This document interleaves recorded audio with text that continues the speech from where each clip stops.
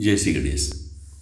जैसा कि हमने पिछले वीडियो में बताया कि जेठ मास की शुरुआत हो गई है और यह आज जेठ मास का पहला मंगलवार है।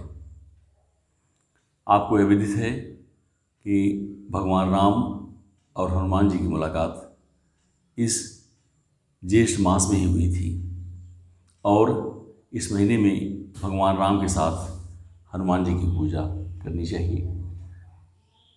और हनुमान जी की पूजा में हनुमान जी को तुलसी की माला और हलवे पूड़ी का नैवेद्य यह ज़रूर अर्पित करना चाहिए।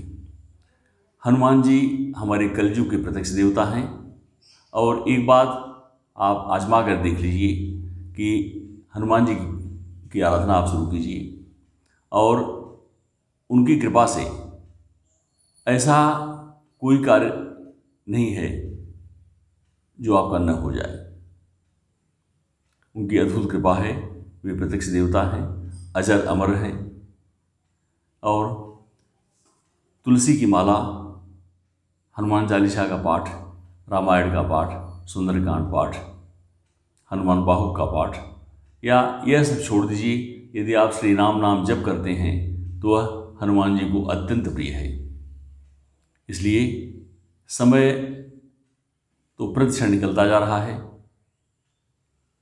हम आलस्य में, प्रमाद में या काम के टालने की प्रवृत्ति में हम भगवान की आराधना के प्रति ध्यान नहीं देते। मेरा निवेदन है कि आप हनुमान जी की आराधना ज़रूर करें।